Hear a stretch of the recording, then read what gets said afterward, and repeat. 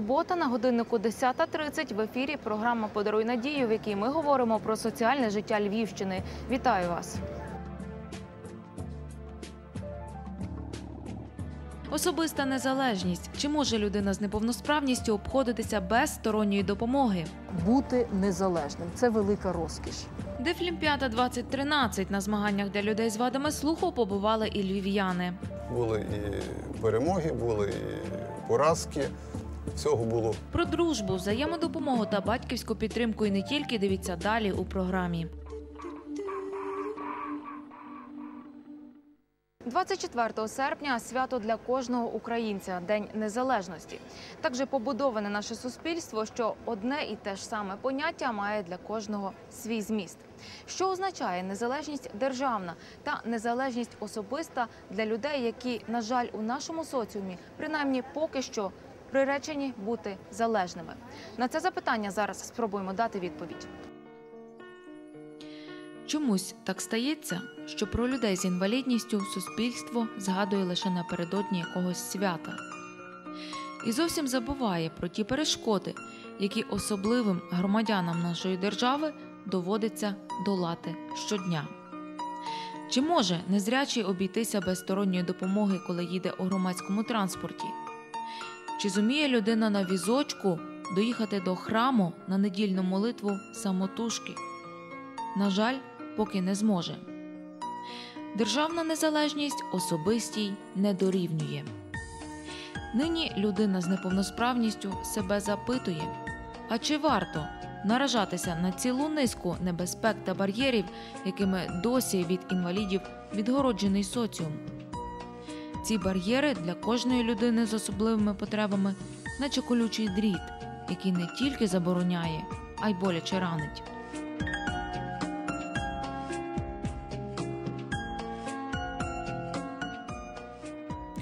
Михайло Петрів поспішає додому. Він живе у будинку, що на вулиці Торф'яній. Це район компактного проживання незрячих. Дорогу до магазину він вже знає на пам'ять. А ось ті вулички, якими ходить рідко, чоловікові можуть принести неприємні несподіванки. Як для мене, незрячого пішохода, е, не потрібно чогось аж такого надзвичайного і особливого. Потрібні ті ж самі рівні тротуари, е, хороші доріжки, без калюж, без вибоїн, так само, як і е, кожній людині. Хоча, звісно, що незрячому долати такі перешкоди штучні чи такі от поломки всякі є набагато складніше. О, Надзвичайно хотілося, щоб було чим побільше поремонтованих тротуарів, вулиць, чим побільше озвучених світлофорів, щоб був озвучений транспорт, щоб можна було користуватись ним комфортно і без е, допомоги, і е, під час проїзду в транспорті не напружуватись, не, не контролювати кожну вибоїнку, щоб е, не збитись і не на тій зупинці вийти, а щоб це оголошувалося, щоб людина нормально в будь-який момент, як і кожний пасажир, е, їхала розслаблена і тоді звернула увагу, коли їй вже потрібно виходити. Я намагаюся бути максимально незалежним, і, ну, але є такі е, ситуації, коли все-таки доводиться звертатися е, за допомогою. От. Ну, вони пов'язані з тим, що хоча в нашій державі вже м, з приходом незалежності і з е, таким е, напрямком до євроінтеграції е, вже приймаються певні норми в правовому полі, зокрема ратифікована е, е, Конвенція прав інвалідів в Україні. І вже ті норми є прийняті, ну, але вони е, мають силу тоді, коли вони є фінансово підкріплені. Незрячим, які живуть у районі Торф'яної, пощастило. Цього року там відремонтували тротуари. Гроші шукали довго, але все-таки знайшли.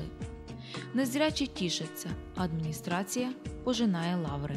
При формуванні бюджету на 2013 рік е, було запропоновано виконавчими органами і е, Львівською радою було підтримано цю пропозицію е, на прохання е, незрячих людей, тобто УТОСу. З бюджету міста було виділено мільйон гривень коштів на проведення реконструкції тротуарів вулиці Замарстинівської торфяної. Ще планується в нас цього року оновлення частини тротуару вулиці е, проспекту Чорновола, де також е, від пішохідного переходу спеціально обладнаного для незрячих людей. Е, Для їхньої зручності буде проведено реконструкцію частково цієї території, щоб вони могли охопити, скажімо собі, і ринок, той ж самий супермаркет, тобто щоб їм було зручно е, туди пройти. Це такі роботи, що, що спрямовані, скажімо, на е, доступність незрячих людей в нашому районі. Ініціатива, безперечно, потрібна. Гарний приклад для інших районів Львова. Однак погодьтеся, якщо братися до чогось, то доводити справу до кінця. Плитку на тротуарах виклали рівно, але все ж таки без халтури не обійшлося.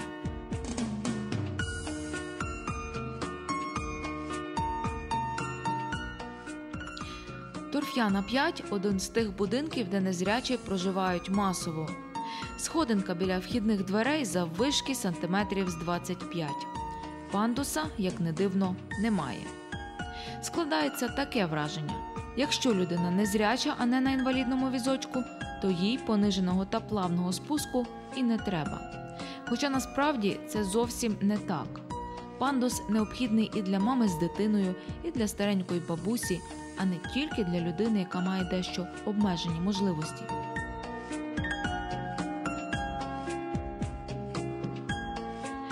Ще зовсім нещодавно один з міських чиновників запевняв журналістів, що окремо кошти на хідники, тобто тротуари, з бюджету не виділяються.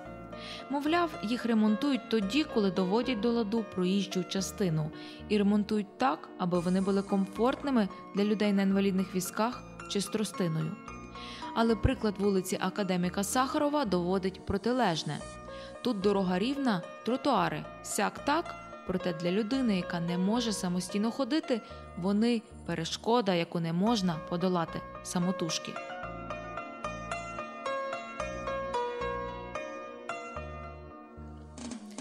Ще одна проблема транспорт. Буквально півроку тому місто хвалилося новими низькопідлоговими автобусами. Буквально місяць тому низькопідлоговим трамваєм, поки що єдиним і поки що невиїзним. Але задуми у чиновників оптимістичні. Хоча ніде правди діти. За останній рік у Львові з'явилися інформаційні табло в маршрутках та озвучені зупинки в електротранспорті. На трамвайних маршрутах номер 2 і номер 6 за допомогою GPS-системи зроблено озвучення зупинок, тобто е, люди навіть незрячі, допустимо, мають можливість е, вже на слух е, орієнтуватися, в якому місці маршруту вони є. Ми вже маємо декілька табло по місту Львову, де е, є е, інформація про те, через скільки який номер трамвайного маршруту прийде. Е, Таких табло буде більше. Маршрутні таксі типу Богдан і Талон, звичайно, не пристосовані для людей з обмеженими можливостями. Проте ці нові автобуси стомісні, 100-місні, які зараз курсують на радіальних маршрутах і на, і на деяких хордових маршрутах, вони вже пристосовані власне для того, щоб людина з обмеженими можливостями могла на візку заїхати в ці автобуси. І питання буде полягати власне в цьому, щоб е, облаштувати зупинки, які би дозволяли безпосередньо заїхати в е, сам автобус. Водій, коли бачить людину з обмеженими можливостями, яка не має супроводжуючої особи, яка хоче е, заїхати, скажімо так, в транспортний засіб, в принципі, зобов'язані допомагати при посадці в автобус. Ось, ну, на превеликий жаль, можливо, не завжди так є, але ми кожен раз звертаємо увагу на те, що водій це є людина, яка обслуговує пасажирів. Тобто е, людина з обмеженими можливостями є такий самий пасажир, і в принципі водій зобов'язаний допомогти людині зайти в транспортний засіб.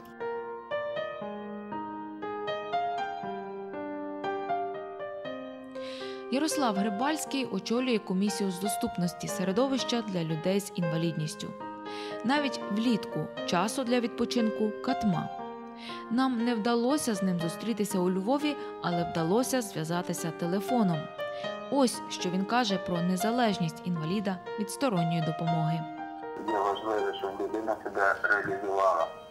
А для цього є багато чинників, звичайно. Вона має бути реабілітована, вона має мати е, належні засоби реабілітації, чи то візок, чи то милиці добрий, чи то, скажімо, пуховий апарат, чи якісь інші допоміжні засоби, які е, дають їй незалежність від іншої від сторонньої особи.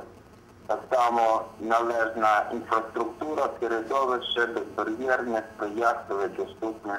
От тоді людина з інвалідністю може почувати себе незалежною і від сторонньої допомоги, і незалежним громадянином взагалі. За таке борються громадські організації. Ще одна структура, яка дбає про тих, про кого б здавалося, не пам'ятають так, як треба Всеукраїнська спілка інвалідів. У Львові її очолює Оксана Потимко, людина, яку добре знають серед людей з обмеженими можливостями, і не тільки. Коли ти втрачаєш е, якісь фізичні, отримуєш якісь фізичні вади, ти втрачаєш дуже багато е, пріоритетів, які дає тобі е, ну, здоровий спосіб життя. Чи це сліпота, чи це глухота, чи це фізична обмеженість, нерухомість, пересування в колясці і так далі. Але цей стан він є страшенно гнітючий для будь-якої свідомої людини. І власне цей стан робить цю людину шалено залежною від сторонньої допомоги. І погодьтеся, що не завжди поруч знаходяться люди, які готові тобі простягнути е, руку допомоги і доволі делікатно повести себе з е, інвалідом, е, не даючи йому зрозуміти, відчути ось це болісне відчуття, що він є залежним. Тому для будь-якої людини з інвалідністю незалежність це очевидно найвища мрія. Це то прагнення, якого ми дуже би хотіли досягти і хотіли би собі власне повернути оцей стан, бути незалежним. Це велика розкіш. Цю залежність Оксана Потимко хоче звести до мінімуму, тому співпрацює з науковцями. На базі Львівської політехніки створено інформаційно-ресурсний центр для людей з обмеженими можливостями. Там друкують літературу, навчають незрячих користуватися комп'ютером та роблять все для того, аби зробити їхнє життя комфортнішим. Ми, наприклад, зараз зробили перший в Україні мультиплікаційний фільм, доступний для перегляду е, незрячими е, дітками, незрячими глядачами, і допомагали нам в цьому не лише е, працівники Львівської політехніки, але й актори Національного театру імені Марії Заньковецької. Це був такий соціальний проект, дуже вдалий, на мою думку. От, ну і ми, ми постійно шукаємо ось ті перепони, які е, ті бар'єри, які власне узалежнюють людей з інвалідністю від сторонньої допомоги, або забороняють їй виходити з квартири взагалі, або е, повністю закривають їй доступ до е, відео, до книги, до будь-якої іншої інформації. І ми от постійно моніторимо ось ці проблеми і намагаємося їх по мірі своїх можливостей, а інколи понад міру своїх можливостей вирішувати. Поки що нам це, слава Богу, вдається. Ось така вона незалежність для людини з обмеженими можливостями. Елементарні побутові речі без сторонньої допомоги для багатьох недоступні. Однак все ж таки прогрес є, і він очевидний. Суспільство зрушилося в бік турботи та поваги до людей з інвалідністю. Це ще раз підтверджує, щасливе життя інших та цілого соціуму залежить від кожного з нас, від нашого внеску, нехай невеличкого, але такого важливого, який зробимо у процвітання цілої спільноти. Бо усі ми одна велика сім'я Україна.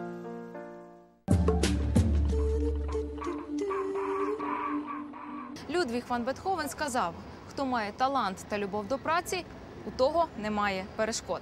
На жаль, сьогодні мусимо констатувати, що для людей з інвалідністю ці перешкоди таки є, але вони навчилися щодня їх успішно долати і доводити усім, що вони щасливі. І зараз розповім вам про спортивні змагання для людей з вадами слуху. Вони нещодавно відбулися в Болгарії, і там побували наші олімпійці. Медаль. Мало хто знає, якою ціною її треба заслужити. Нещадні суперники, жорстока конкуренція, емоції через край, а сил з кожною секундою все менше. Спортсмени знають, про що йдеться. Тому мрія кожного, хто займається професійним спортом, отримати заслужену нагороду. Дефлімпійські ігри ігри для людей з вадами слуху. Їх проводять що 5 років. У 2013-му вони відбулися у сонячній Софії, столиці Болгарії.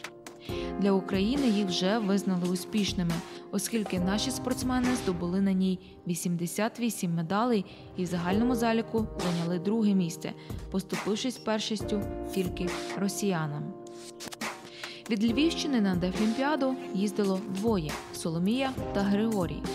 Хлопець зайняв п'яте місце у змаганнях з тенісу. Каже, спорт для нього це професія.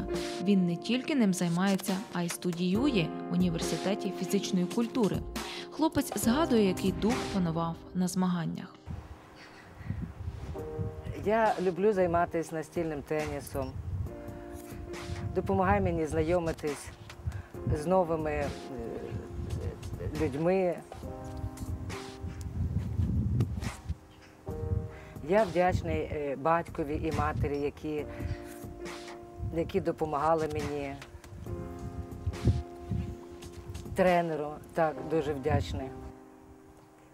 Так, я на змаганнях, е, звичайно, е, знайомлюся з друзями і ми спілкуємося засобами мобільного, мобільного зв'язку, пишемо смски, пишемо, спілкуємося по системі Skype. Так, я буду старатися, щоб підготуватись на наступні Дефлімпійські ігри, щоб отримати медаль. Валентин Кузьменко батько Григорія. Він підтримував сина впродовж усіх змагань, оскільки працював в Софії з усією українською збірною. Чоловік згадує, як все починалося. Десять років тому він привів сина у спорт. Нині ним пишається. Все життя спортивне мого сина і збірної я знаю досконало, якщо можна так сказати. Е, З дитинства він займається, самого дитинства е, тенісом, багаторазовий е, чемпіон області. Вже я навіть не знаю скільки років. Призер чемпіонатів України. Минулому році грав в вищій лізі настольного тенісу. Це ми говоримо про спорт чуючий. Перед тим грав е, в суперлізі. Ну, відповідно, були різні. Були і перемоги, були і поразки. Всього було. Всього було. Було тоді важко було, тому що ми займалися, е, ходили в секцію настільного тенісу, де всі дітки були чуючі. Ну, е, Були певні труднощі. Ну, але дякувати Богу, все вже позаду, ми вже є на певному рівні. І е, ті, хто колись був попереду нас, вони вже позаду. Ну, в спортивному плані. Звичайно, є над чим працювати, хочеться досягнути більшого і кращого. Але нам допомагають дуже хороші, добрі, відзивчиві люди. І перераховувати їх я можу, це довго, це займе багато часу. Нас оточують хороші люди. Соломія приїхала з Олімпіади дуже засмученою. Взяти нагороду їй таки не вдалося. У великому спорті її старша сестра. Соломія хоче продовжувати свою кар'єру і намагатиметься на наступних змаганнях компенсувати свою поразку. Я з дитинства займаюся спортом, легкою атлетикою. І мене у 2007 році е, обрали, вибрали в збірну команду України. Я приймала участь в чемпіонатах України, чемпіонатах світу, чемпіонат Європи, займала призові місця перші, другі, треті місця, як в команді, так і особисто. Я себе поза спортом не мрію. От я от сама аналізую, чомусь от мене от секунди, мені щось бракує. От я хочу перемоги, я мрію про перемогу. Я знаю, що це тяжко, вона легко не дасться. Враження від цих ігор. Що сподобалося? Що А взагалі так, от моя сестра, е, значить, вона приймала участь в, Олімпі... в Дех- в Дефлімпійських іграх в Австралії, і вона зайняла два призових місця і за перше місце, і третє місце. Ну зараз вона вийшла заміж, народила дитинку, знаходиться в декретній відпустці. А я, от як сестра. Почала так само займатися, і от мої перші дефлімпійські ігри для мене були трошки невдалі, але нічого. Я надію, що на наступні е, ігри я буду в формі. Я відправляла дуже болісно і з плачами, і все. І то було вночі. Вона поїхала. І я вже сказала, що я вже за нею скучила. Вона мені трошки смски, трохи по скайпу ми спілкувалися. і Я її підтримувала е, як могла. І вже в той день, коли вона бігла, я просто не могла. Я пішла до церкви, я молилася. І в цей день, якраз коли вона бігла, мені так було погано. Я просто каплі аж пила. Я ну, відчувала я генетично, що її цей час зле. Вона дуже е, переживала і думала, що це вже кінець світа, що вона не перемогла. Я кажу, дитино, це тільки початок, це тільки початок. Ну, е, спіткнулася, ну нічого. Загалом Львівщина славиться своїми особливими спортсменами. Інваспорт працює з близько чотирма сотнями людей з обмеженими можливостями, і дехто стає навіть олімпійськими чемпіонами. Усі пам'ятають Параолімпійські ігри 2012 та львів'ян, які вибороли там найвищі нагороди Антона Дацька та Романа Павлика. Звісно, перемога не дається легко, це роки роботи та важких тренувань. Про це розповідає тренер Романа Павлика Олександр Якубовський. Робота тренера в цьому заключається, що вміти побачити ті недостатки і знати, якими методами, е, методами фізичних вправ їх покращувати. Е, Якщо б зараз подивитися, на яким був Павлик, який він став, він став зараз вже спортсмен, накачаний на це. Навіть деколи кажуть, коли біжить, коли йде, ще то вже е, замітно. А коли вже вони біжуть на дистанції, такі спортсмени, навіть важко сказати, що вони е, мають недоліки. Тому що проведена така робота. Це дуже важкий труд. Це кожен день тренування, на зборах по два рази в день. І все відказується, все відпуску ніяких нічого. От праця, праця, праця. А він якраз в чому він мене так. Він дуже скромний. Я е, е, не зміг попередити його сьогодні прийти. Він дуже скромний, тихенький, працює, але має характер такий бойовий. Він для змагань настроїться і виграє. Попри успіхи, держава часто не пам'ятає про своїх героїв. Їх згадують тільки тоді, коли вони перемагають. Така вже доля, мабуть, спортсменів. Але біда в іншому. Держава не віддячується тим, хто на міжнародному рівні її представляє. Параолімпійські чемпіони, на превеликий жаль, залишаються тіні спортсменів-олімпійців. Це не від нас залежить міняти. Це міняє, повинно міняти керівництво. Навіть от зараз, вчора було нагородження кращих спортсменів місяця за минулий і позаминулий місяць, то тільки нагороджують і визнають кращих спортсменів місяця. Це тільки здорових спортсменів. А наші спортсменів, навіть чотири медалі все-таки Павлик завоював, він навіть не проходить там. Я пропонував скрізь е, говорю, що я не проти того, щоб визнавали з кращими спортсменами здорових спортсменів. Але в той же час е, треба визнавати і спортсменів-інвалідів. Спортсмени-інваліди дуже негативно відносяться до, цього.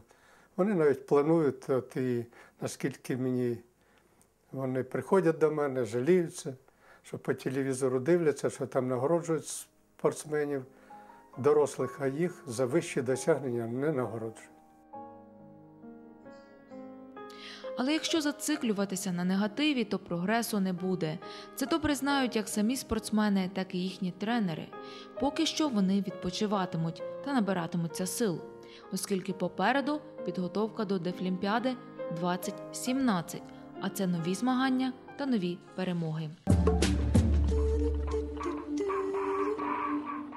Тож не падайте духом, перемагайте та беріть приклад з героїв наших програм. Якщо маєте для нас цікаву інформацію, то пишіть нам на електронну адресу, яку зараз бачите на своїх екранах. Шукайте випуски програми Подаруй надію на Ютубі та в соціальних мережах і усміхайтеся. Тоді доля обов'язково усміхнеться вам у відповідь. Щасти вам!